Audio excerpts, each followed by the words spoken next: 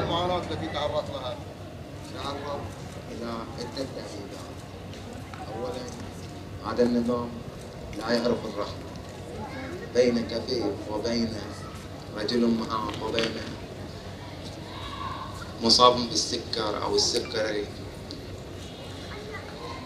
هناك تعذيب نفسي وهناك تعذيب جسدي.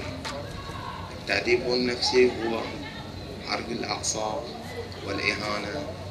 من كل الجهات أما التعذيب الجسدي بالكهرباء والصياط وال... الكهرباء والصياط والضرب على الوجه وفي وفي وفي الماء في الأماكن الحساسة. في معاملة خاصة إليك؟ لا نفس الباقي.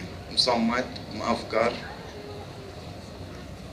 مصمد وأفكر هذه هو نفس المعاملة. ما في أي معاملة خاصة. لا بين مريض ولا بين مكفوف ولا بين أي أحد. هم يقولون أنهم يعاملون بمعاملة خاصة. وهم لا يعاملون معاملة خاصة. المريض مريض ولا يعالجون في أي حال في, في أي وقت. وهناك الكثير داخل السجن يحتاجون إلى الرعاية. منهم جعفر علي معتو الكفيف جعفر علي معتو هو من قرية من قرية القرية. وهناك محمد محمد أحمد فاضل من قرية مقابة. لا يعالجونهم. وهناك أطفال لا يعالجون. ولا مصابين بالسكر لا يعالجون. شاهدت أي تعذيب وياك في التعذيب اللي كنت يعني سمعت عنها لا أنا كل واحدة صوبنا قليل.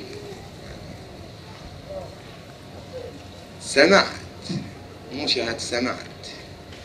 إن فعلوا كذا وكذا. يعني أشياء ما يعني شلون يعني أشياء جنسية.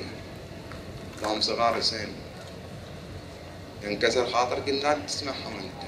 ما تقدر يعني تقول كامل الشيء